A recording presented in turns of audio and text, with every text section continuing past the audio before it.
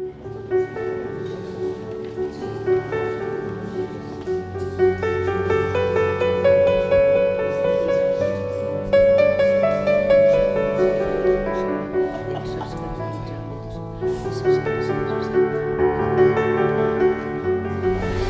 any el tema és noves tecnologies, impacte en les relacions personals, socials i laborals. Us haig de dir que han sigut molt interessants totes les propostes que hem escoltat. Eh, és l'edició que ha tingut més participació, a prop de 70 persones. Per tant, totes les que esteu aquí, que participareu, ja sou guanyadors. Que després d'haver passat aquesta criba, ja sou guanyadors. Per tant, avui guanyarà qui ho faci més bé. Avui. Avui. Això no vol dir eh, que vosaltres ja heu guanyat, com us he dit. Us presentaré el jurat, que està entre el públic, camuflat. El jurat 1 és Francesc Marlet, és la president de Dama, jo soc Montserrat Santa Maria, presidència de Dama. El jurat 2 és Marcel Sayol, regidor de Cultura, que s'ha excusat perquè té guàrdia, és metge. El jurat 3 és Carmina Puig, que és mestra. El jurat 4 és Ramon Palau, llicenciat en Història. El jurat 5 és Víctor Cucurull, llicenciat i director de la Fundació Societat i Cultura. D'acord? Com recordareu, es demanava una exposició en estil i modalitat lliure en català amb un text inèdit, que no hagués sigut publicat o llegit o recitat en quant, al, en quant altre certamen ni en quant altre eh, espai. D'acord? Els criteris literaris i formals, que si heu llegit totes les bases es valoraran aquesta tarda, són correcció i riquesa lingüística, recerca exposada sobre el tema tractat, ordre lògica d'idees, to, pronunciació, equilibri i modulacions de la veu, postura, capacitat d'interessar i d'entretenir i habilitat pel contacte visual i emocional. Déu-n'hi-do. De totes maneres, jo us aconsellaria a tots els que esteu aquí que us n'oblideu d'això. Que sigueu naturals, que gaudiu el moment. Nosaltres hem fet tres categories, que és la Atent Calva, que ens apadrina l'Associació de Comerciants de Mata de Pere, la Mitjor, que apadrina ICV, Institut de Ciències de l'Educació de la Universitat de Barcelona. Aquesta segona queda deserta perquè no hi ha hagut presentació de postulats i el primer premi de vesprada la padrina el col·lectiu d'art de Matadepera. Per tant, el que, es deia, el que us deia, gaudiu del moment, nosaltres el que ens interessa més és el grup dels més joves, el que volíem és donar una plataforma per sentir la seva veu, us haig de dir que són molt interessants, tant les crítiques com les propostes que han fet, com la seva visió del món, tenim una joventut admirable, això us ho dic. Començarem, tenim un dels participants que té una competició de hockey a les 8 i ens ha demanat de ser el primer, per tant trencarà el gel, el Pau Forte.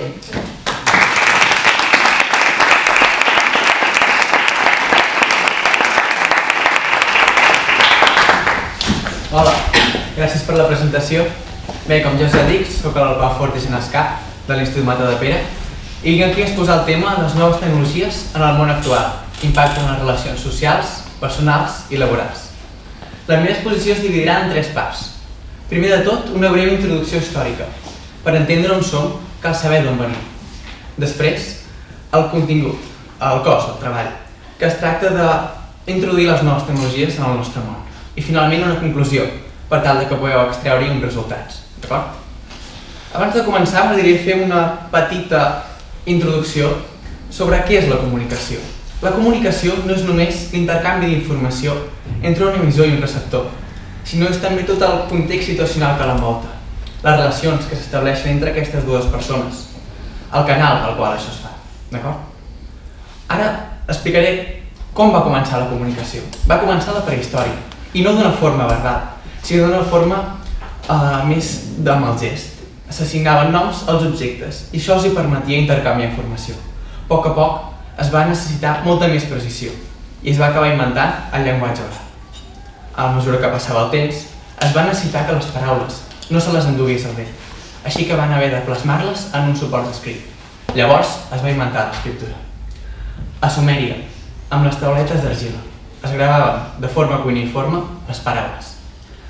A mesura que va anar passant el temps, van venir les etapes d'Egipte, de Grècia i de Roma, i tot va anar evolucionant, tot es va anar desenvolupant. El suport ja no eren les tauletes d'argila, sinó que eren el pergamí i el papir, per exemple. La comunicació oral també va evolucionar i va esdevenir molt més complexa per tal de tractar amb molta més precisió els temes que eren d'interès. El temps va anar passant i vam entrar en un període de decadència, l'edat mitjana. En aquests moments, la comunicació escrita va quedar gairebé suprimida. Només es feia als monestirs, on es copiaven els llibres a mà. La comunicació oral era, per tant, la que imparava llavors.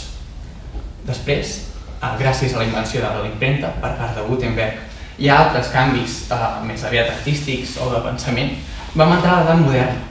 La comunicació escrita es va tornar a revaloritzar i la gent va passar informació d'una banda a l'altra amb molta més rapidesa. I hem arribat al moment on som ara, on les noves tecnologies tenen un paper capdalt en la nostra societat per tal de poder passar aquesta informació. Així, la rapidesa, la rapidesa és extremadament alta, és immediata. Podem dir-nos una cosa d'una banda del món a l'altra. I les noves tecnologies no estan només per la comunicació, també serveixen per la ciència, amb nous instruments, per la indústria, amb noves màquines, o per l'escola, per exemple, amb els projectors que tenim a les classes. I doncs, com afecta la comunicació als humans? Els humans no són només una realitat, sinó que es pot dir que estem compostos per tres mons. El primer de tot és som nosaltres mateixos, la natura, la nostra realitat física, l'ésser individual. El segon és la societat, la col·lectivitat, aquest món que ens envolta i amb el qual ens relacionem. I el tercer, i el aparegut més recentment, són les noves tecnologies. La gràcia d'aquesta classificació és que aquests tres mons afecten els uns als altres i es modifiquen. Ja sabem com afecten la societat amb la nostra realitat individual, però com afecten les noves tecnologies, aquest món virtual, a la manera de ser dels altres dos mons. Per exemple, en les persones. Portem el món a la butxaca, amb el mòbil, i tot el dia estem amunt i avall, no perdem el temps, no podem um, pensar en nosaltres mateixos, no podem reflexionar, no estem ni un segon sol, sempre estem comunicats. Estem oblidant qui som, estem perdent la consciència de la nostra primera realitat. Això també es veu afectat per les noves tecnologies, en les xarxes socials. No expressem en les xarxes socials qui realment som, sinó allò que els altres volen que siguem. Volem ser acceptats per la societat publiquem allò que als altres els agrada. Estem falsejant la nostra primera realitat, un altre cop. I, sense saber-ho com, ja hem introduït en aquest context la segona realitat, la societat. I ara comparem-la amb les noves tecnologies. Com afecten a la societat? Per exemple, en les relacions d'amistat, ja no s'ha d'estar una a la vora de l'altra per tal de poder comunicar-se, sinó que podem estar a una gran distància i en diferents moments. Això és bo, d'acord, les relacions es mantenen en el temps, però hi falta una sèrie de fenòmens, una sèrie de, de contactes, el gest, la mirada, eh, la relació física, que faci que el nostre contacte amb aquella persona sigui molt més intens i molt més verdader. A més de les amistats, també afecten el món laboral, amb la, amb la globalització. L'economia està per tot el món. Mantenim relacions econòmiques amb diferents països, ja que els costos de producció i de transport s'han minimitzat. Així, el món està globalitzat i hi ha molta més competitivitat per tal de vendre un producte. La conclusió que podem extreure és que les noves tecnologies en aquest món on vivim ara han canviat totalment les realitats que ens envolten. Com? Fent que ens oblidem de nosaltres mateixos, de la nostra personalitat, falsejant la nostra manera de ser, fent més fredes les amistats, tot i que més duradores, i capitalitzant i fent més eh, competitiu al món on vivim. I és que els humans sempre volem més i més, però de vegades no sabem el que ens perdem.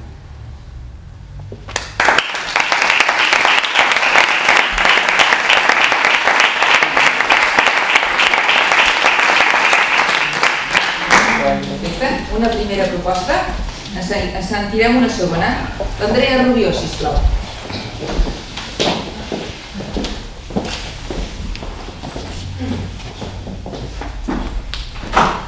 Bona tarda.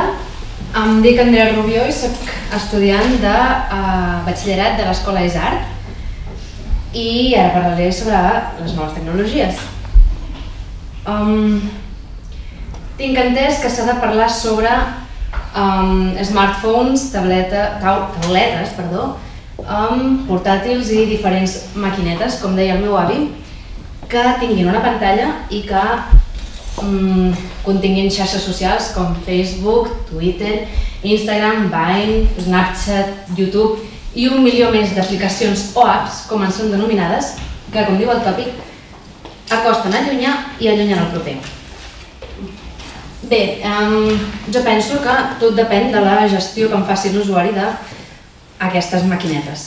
Perquè si bé és cert que una partida al Candy Crush et pot fer passar una estona morta mentre esperes a aquell amic que sempre et diu que està arribant quan tot just està sortint de casa, no són poques les vegades que s'ha vist un bar atapeït de persones que no es fan cas les unes a les altres, però que estan contestant aquell amic que van fer fa, un cap de, fa 3 anys, quan van passar un cap de setmana a un poblet al nord d'Holanda. Que bé, el problema no és de l'holandès per estar-te parlant. De fet, genèticament la mescla entre races és beneficiosa per l'espècie humana. I tampoc és culpa del Pepe, que mentre tu estaves parlant s'ha pogut fer una idea de l'arquitectura del local. Um, és culpa de l'addicció que creen aquestes noves tecnologies.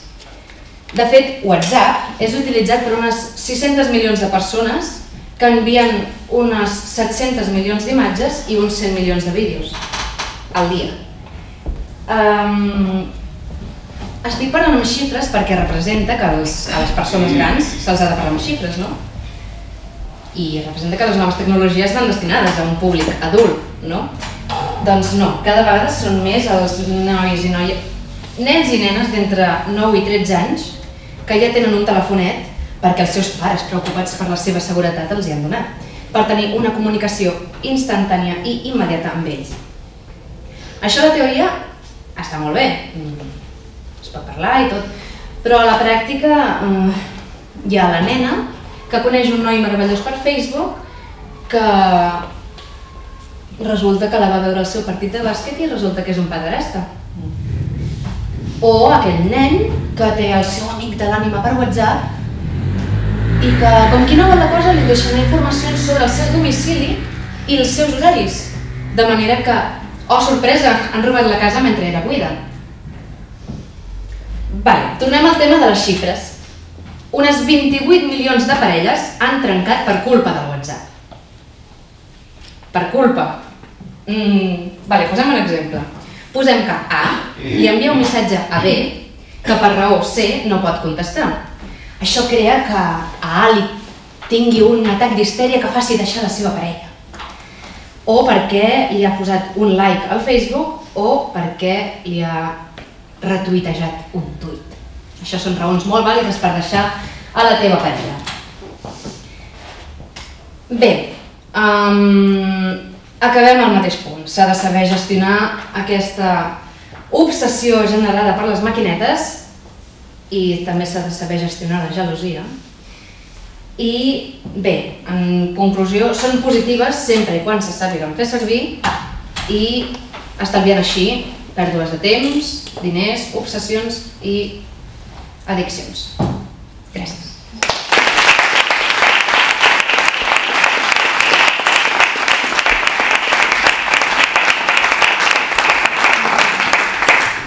Una segona proposta, seguirem la tercera, la Laia Cots.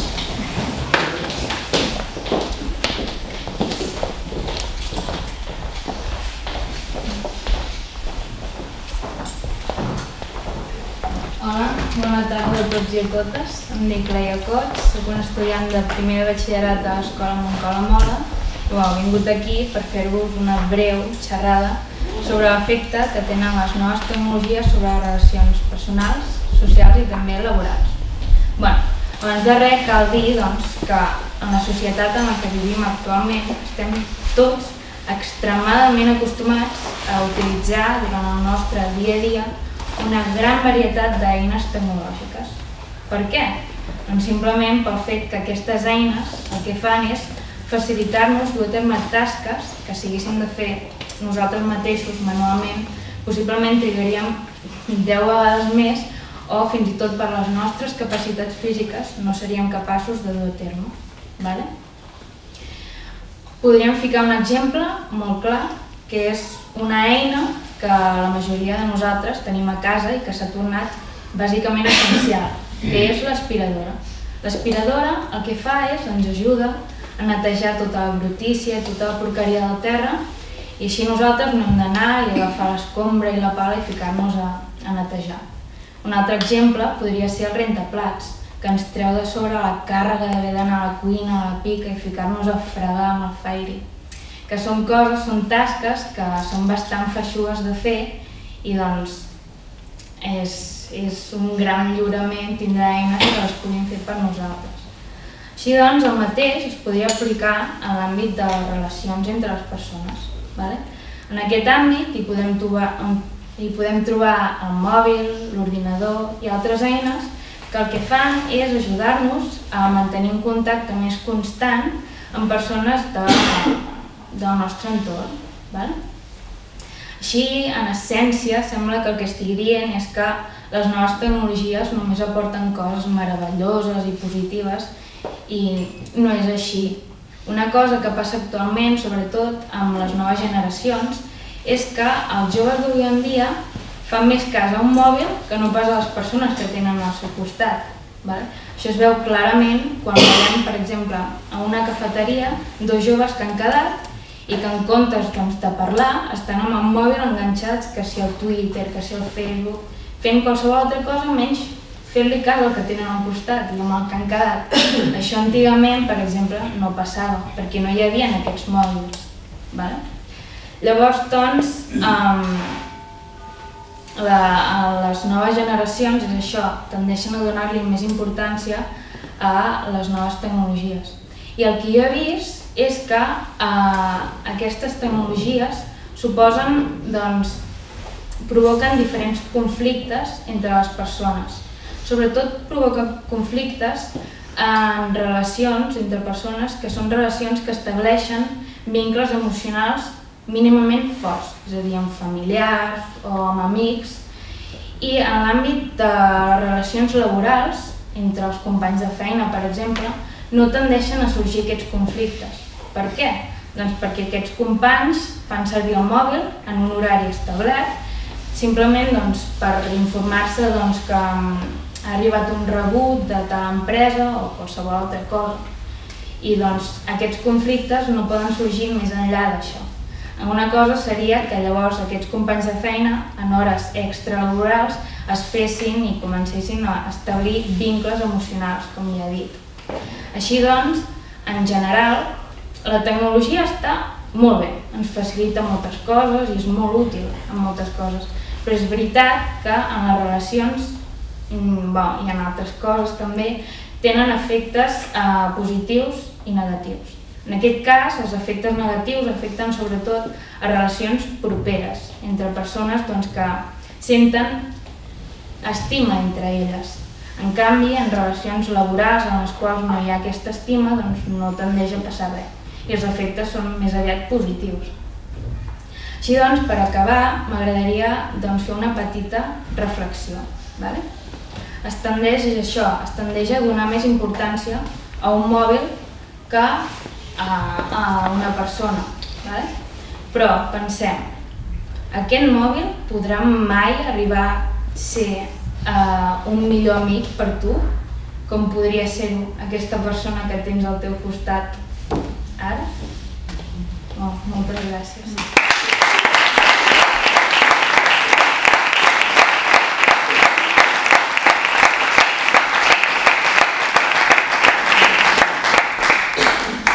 Molt bé, escoltarem una, noia, una nova proposta de la Laia Beltrà.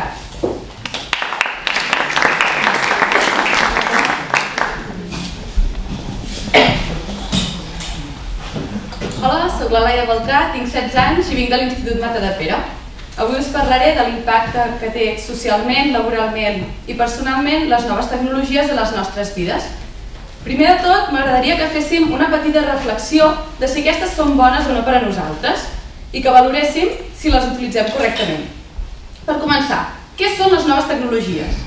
Per nosaltres, els adolescents, es centren en el mòbil, la tauleta, l'ordinador o la consola, però realment el món de les noves tecnologies és molt més gran.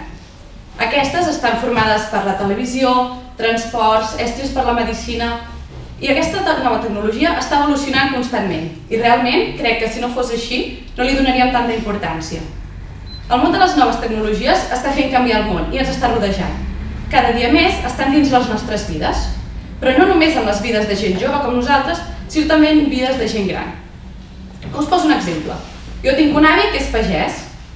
En un principi, eh, ell només utilitzava el llapis i el paper i nosaltres, els seus nets, el vam introduir en aquest món de les noves tecnologies. Deia que no estava pensat per ell i s'atabalava, que no sabia fer anar. Però un dia, quan ens hi vam posar bé i ell em va aprendre, se'n va donar de lo fàcil que era utilitzar aquestes noves tecnologies. Ell no fa com jo de mirar vídeos al YouTube, xatejar amb els seus amics, simplement busca i remena fins que troba. Ell el que fa és buscar notícies, mira el temps, envia correus electrònics, mira mapes de terrenys... Són simplement les seves necessitats o interessos. Però no només ens centrarem en l'àmbit de la gent gran. Les noves tecnologies també han ajudat molt en l'àmbit de les persones discapacitades. La sordesa, per exemple. La podem considerar una petita discapacitat que les noves tecnologies ha ajudat molt. Per les persones sordes, les noves tecnologies ha sigut com un regal. Ara poden contactar amb qui vulguin i quan vulguin sense necessitat de que ningú els ajudi. Per una altra banda, quan anem a algun lloc on ens agrada molt, un nou país, una nova ciutat que no hem vist mai, ens estem acostumant a viure de les fotografies en lloc de viure del records com sempre havíem fet. Canviem de tema. L'àmbit de la informació. Actualment, gràcies a les noves tecnologies, tenim informació 24 hores i ininterrompudament. I aquesta està molt ben documentada gràcies a les imatges que podem aconseguir gràcies a les noves tecnologies. Aquestes imatges, per exemple, poden ser extretes a partir d'un dron, una petita màquina voladora que pot arribar a llocs inaccessibles pels humans. Com tots sabeu, fa ben poc hi ha hagut el terratrèmol al Nepal, una gran desgràcia per un dels països que podem considerar dels més pobres. Les noves tecnologies, doncs, ens han d'ajudar a poder ajudar aquesta gent que ho necessita, enviant-los aliments, enviant-los tota l'ajuda que puguem i aigua, per exemple. Així doncs, les noves tecnologies veiem que estan entrant dins les nostres vides i que són, en part, molt positives. Però reflexionem-hi, són tan positives com creiem? En part, les noves tecnologies també són negatives i no ens n'adonem. Per exemple, constantment hem d'anar a posar gasolina al cotxe perquè és necessari perquè funcioni. Anem a la gasolinera, arribem i ens trobem que aquell home que abans ens posava gasolina ha estat substituït per una màquina. Realment, les noves tecnologies estan substituint les zones i estan traient llocs de treball. En el meu cas, vaig cap a l'institut i em distrec constantment amb el telèfon mòbil. I és aquí on m'agradaria parlar, perquè realment el telèfon mòbil està ben utilitzat o és com diuen alguns al llarg del nostre temps? Jo arribo a casa carregadíssima de feina i estic segura que no sóc l'única. Arribo a casa amb el mòbil a les mans i el primer que faig abans de posar-me a estudiar és rebassar totes les xarxes socials. Miro el Facebook, Instagram, Snapchat, Twitter, WhatsApp, ho miro tot. Llavors, com que ho tinc tot repassat, intento posar-me a fer feina. I sí, la veritat, dic intentar, perquè tinc el meu dispositiu mòbil al cantó i em distrec constantment. És llavors per alguns alguna addicció. Llavors, en un altre àmbit que també considero que és en part negatiu, és en l'àmbit esportiu. Abans jo em preocupava per anar a entrenar i gaudir amb els amics, disfrutar, fer una mica d'esport, però cada vegada més estem més controlats i les nostres marques físiques són registrades. Ja sé que en l'àmbit esportiu d'èlit sí que han d'estar controlats constantment, però fixeu-vos, si aquestes màquines controlen els esportistes, llavors els metges quina feina faran? Llavors hem de veure aquí que les noves tecnologies estan traient molts llocs de treball com podrien ser un metge o el senyor de la gasolinera, que ja no veiem perquè ara hi ha una màquina.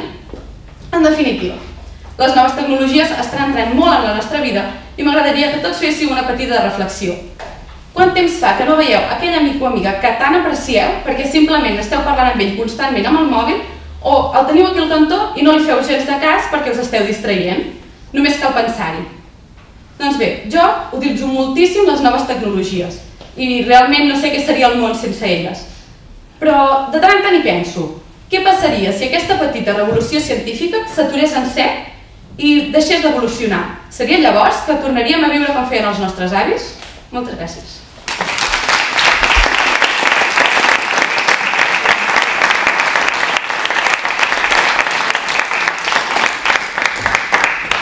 Perfecte. Tancarem aquestes exposicions amb el Nil Mestre.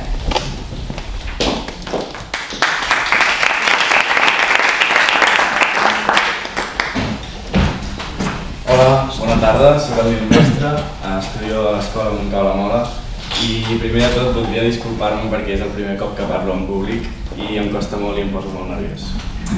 Per tant, com tots sabeu, he vingut a fer una xerrada sobre les noves tecnologies i m'agradaria dir que són una eina que està present en gairebé tots els àmbits de la nostra vida, per no dir en tots. Um, aquestes tecnologies, perdoneu que si em quedo en blanc, uh, estic nerviós. Aquestes tecnologies, ja com he dit, són, estan presents en gairebé tots els àmbits de la nostra vida, però tenen tant punts positius com punts negatius. Per la banda positiva, podem dir que ens han ajudat molt a l'hora de comunicar-nos o a l'hora d'ajudar les persones grans. Per exemple, si a l'hora de la feina, si nosaltres, el nostre cap d'empresa se'n va a Hong Kong i necessita una feina urgent, ens demanaria aquesta feina i fàcilment li podríem enviar per correu electrònic, en un moment i sense cap compromís. Per altra banda, si hem quedat amb un amic i nosaltres no ens hi podem presentar, eh, li podem enviar un WhatsApp i ell ho sabria fàcilment i ho sabria. També, per altra banda, i molt important, si nosaltres tenim un accident, podríem dir, agafar el telèfon i trucar a emergències i ens vindrien a ajudar ràpidament. Aquestes paraules, noves tecnologies són dues paraules que han tingut al llarg del temps moltes, moltes definicions i penso personalment que la millor de les quals és que són unes eines, uns suports i uns canals per als tractaments i l'accés a la informació i que aquestes tecnologies van ser introduïdes al segle XXI. A la nostra societat eh, ens ha afectat, com he dit abans, en banda positiva i en banda negativa. Per la banda negativa, eh, les noves tecnologies eh, han afectat, ja que per exemple, el ciberbullying és la falta de respecte o les amenaces o insults a partir de les xarxes socials o fins i tot a la violació de la intimitat de les persones o a l'espionatge. Això ens porta a una frase que va dir Einstein, que va dir que tenia por que les noves tecnologies o que la tecnologia sobrepassés els límits de la humanitat, perquè finalment esdevindríem una societat d'idiotes.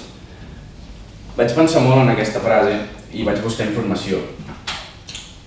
Hi havia dos grups de persones. Això, aquesta frase va crear molta polèmica i hi havia dos grups de persones diferents. Uns eren els tecnofílics, que són les persones que estan a favor de la utilització diària d'aquestes tecnologies per, a, per al seu dia a dia i per facilitar la seva vida. Però, per altra banda, hi havia els tecnofòbics, que són els que estan en contra del, rotundament de l'ús de qualsevol tecnologia diàriament. Ja que estem aquí, m'agradaria que aixequéssiu la mà a les persones que esteu a favor dels tecnofílics. I per altra banda, els que esteu a favor dels tecnofòbics, si us hi sentiu més identificats. Els que estan en contra? Ningú? Doncs, finalment, voldria, vaig arribar a la conclusió que les noves tecnologies, com tot, són bones però amb certa mesura mentre no sobrepassin els límits de la humanitat i trenquin el vincle entre dues persones. Moltes gràcies.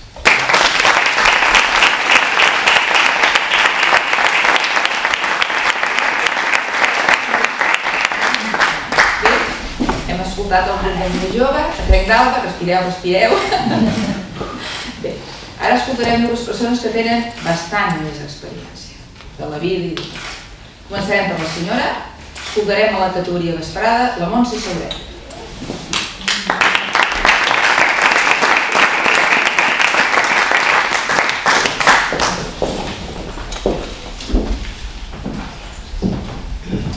Bona tarda, gràcies per la vostra assistència.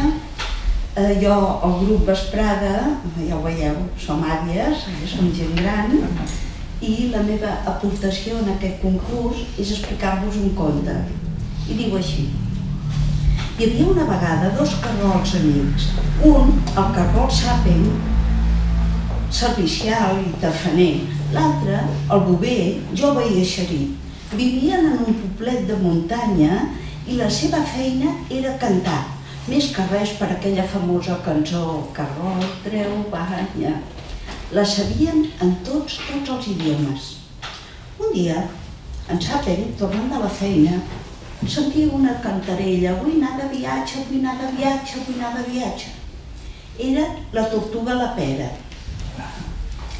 Li va dir, Sàping, per què no m'acompanyes? Jo, però que no ho veus, que ja l'espreja. Sí, però mira, mira quantes coquetes de llum que ens indiquen el camí. Oh, és veritat. Doncs va, anem-hi, t'acompanyo. Al cap d'una estona, no eren les coquetes de llum, era a dalt del cel, la fosca nit, que s'encenien les estrelletes. I de cop i volta, una estrella caiguda davant del cargol i la tortuga. Oh! Varen exclamar tots dos. L'estrella els hi va dir, soc l'estrella de cinc puntes, amb dues puntes agafo els viatgers i me'ls emporto galàxies enllà. Les altres tres són històries que els explico mentre naveguem. Oh, que interessant, que interessant.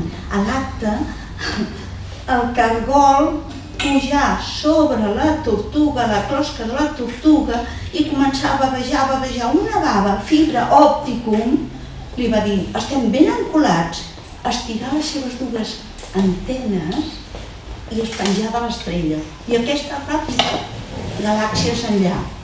Tot d'una, de la Terra, un volcà actiu a explotar amb foc i cendra i la fibra òptica es, es va desencolar. La tortuga, abans de dir menja just, cap i potes a dintre la seva motxilla, rodolar, rodolar, fins al fons de l'oceà, penetrar aigües endins. Mentrestant, l'estrella, amb el cargol penjat, a galàxies allà, a milions i milions d'anys llum. D'aquestes fortes pertorbacions provocar uns aires huracanats desarrelant arbres i pins, molts pins de socarrel. El cargol bover va sobreviure, però trist, desorientat. On és el meu amic Sapen? El ratolí de cua llarga li va dir, cap problema, és qüestió de buscar per internet. Eh? I de cop i volta, per Facebook, va trobar a la pantalla uns peixos cobrien les boques i deien tortuga de mar, tortuga de mar. I una veueta responia, em dic la pera, em dic la pera. El cargol bover, aquest nom em sona. I tant, és una amiga del Sapen. Corre, corre, ratolí de cua llarga. M'enviem un missatge.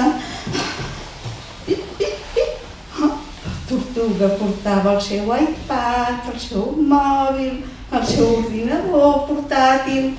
Oh, quan va llegir el missatge, on és? En Sapen va respondre ràpidament, penjat al núvol. El núvol!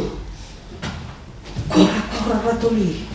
Busquem, busquem per, per això, via satèl·lit, al Google. I sí, el van trobar. Sapen, que em sents?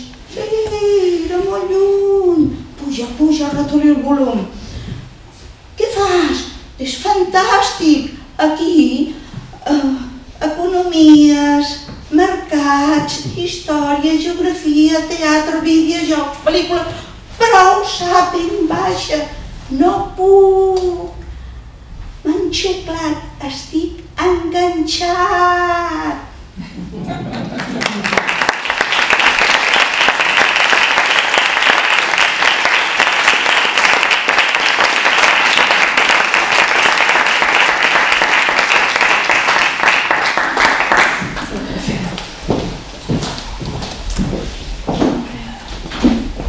Molt bé, i en la mateixa categoria de vesprada sentirem ara una veu masculina, l'Albert Puig.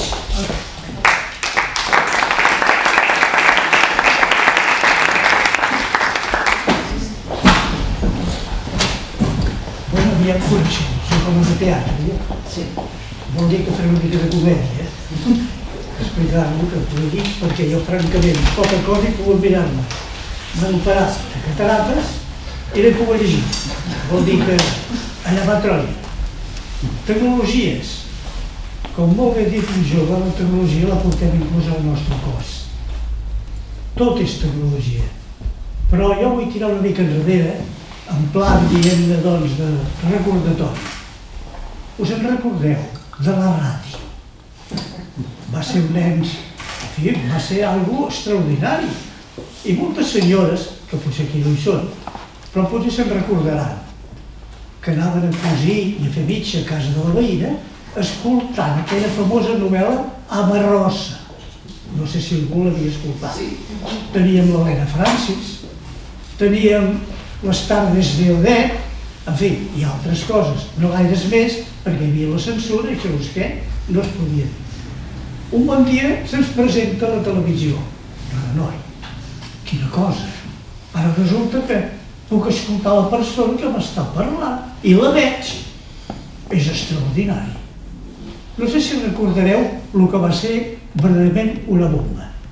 El casament de la Grace Kelly amb la reinera de Mónaco. Clar, no tothom tenia televisió perquè valia molts quartos i en aquella època no en teníem tants.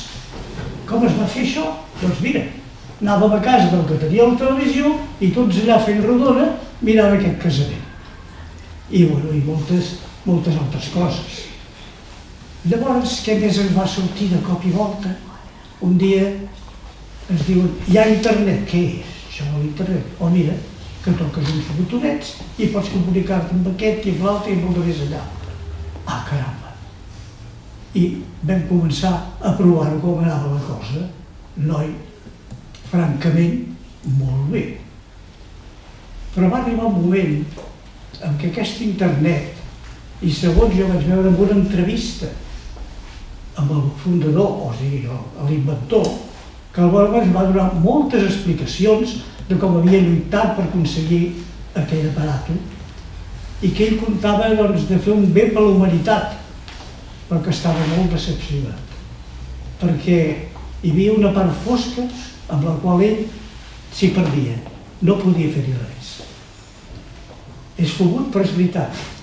Aquesta part fosca, sabeu quina és, jo suposo que molts la coneixereu. La pirateria per un cantó, què ens fa la pirateria? Ha fet molt mal editors, compositors, llibreters, músics, cantants. Aquests últims encara avui dia s'ho estan solucionant i presenten el seu nou treball de cara al públic i almenys així es passen alguns dies, diguem-ne dies, ja no diguem mesos, sense que els pirategin. Què més hi ha de dolent? Una de les coses que hi ha un jove que n'ha parlat una mica també. Els contactes. Els contactes perillosos. Però és molt fàcil. Busques, trobes un, comencem a parlar eh, per internet, pim, pam, pum, jo soc això, jo faig allò, tu fas l'altre. I el dia que es volen conèixer, perquè clar, si van passant dies, tenen, doncs, diguem-ne, una cita. Es troben i a vegades surt bé, però moltes vegades surt malament i molt desenganyats. Ja sabeu que hi ha la pornografia infantil. Vol dir que es poden trobar infinitat de coses. Total que un dia també els eh, d'internet van voler fer una encosta. Això era l'any 2006. I va resultar que en aquella època hi havia 1.100 milions d'usuaris. És una bona quantitat, força gent. I ells preveien que en una dècada podrien doblar aquesta quantitat. Jo penso que, que no ho han aconseguit, perquè l'han quadruplicat. Jo penso que és així, perquè com que cada dia ho veus i per tot arreu és el mateix, i llavors què tenim més? Què ha portat tot això? El que heu parlat d'aquest jovent, Twitter, el Facebook, els petits ordenadors portàtils connectats a internet, les cònsoles, les tabletes de videojocs, que això està sent una droga, ojo, perquè van començar els pares que li compraven, ai perdó, no eren nens, oi? No. Els reis els hi portaven una tableta de videojoc, doncs que ja s'hi enganxaven els pares, ja està avui dia ja l'ha vist que estan jugant amb la seva tableta. Vol dir que s'ha d'anar al tanto. Potser em preguntareu què espero jo més, què, què pot venir més? Jo penso que em vindran moltes més coses, no sé quines, però em vindran. Perquè aquesta tecnologia de la informàtica i la comunicació és que no té aturadero. És un gegant tot plegat. Jo espero que almenys el que surti de nou sigui verdaderament per un bé de la humanitat. Per això, si us recordo, cuidado, cuidado amb els contactes. Vigileu-ho sempre. I res més, gràcies per haver-me escoltat i bones tardes. Ha arribat el moment de la veritat. Començarem per la vesprada. D'acord? El jurat de la Montse Sauret ha significat i valorat el ric registre, el ritme, la emotivitat de l'Albert Puig. El jurat ha significat i valorat la seva posició en escena, l'empatia, el saber estar. És una persona que es fa escoltar.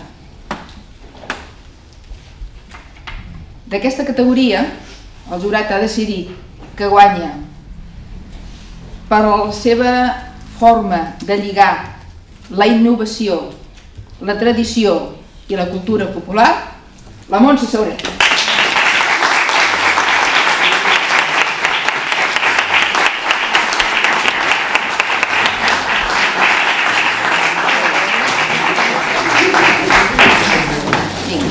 Anem per més joves. El Pau no és aquí ja, però bueno, llegirem la valoració del jurat, eh? Una bona recerca. Una exposició impecable. Amb inici, conclusió, una gran facilitat de paraula, ha creat un espai emotiu, un bon argumentari, potser és l'exposició més científica que hem escoltat. De l'Andrea Rubió, un català correcte, valorem els sentiments associats que ens ha explicat i l'impacte sobre les relacions emocionals. De la Laia Cots. Signifiquem el bon argumentari, ha estat fidel al tema, el seu bon control del ritme i l'entonació. De la Laia Beltrà. Signifiquem la reflexió final, la pregunta, la, perdó, la reflexió inicial, la pregunta final, la riquesa expositiva, la facilitat de paraula. Del Nil, li aplaudim la valentia, el català correcte i la recerca exposada. En aquest primer premi tenim un ex aequo també. El primer premi eh, s'ha valorat la riquesa lèxica i la seva capacitat de traure al públic. I és guanyadora la Laia Beltrán.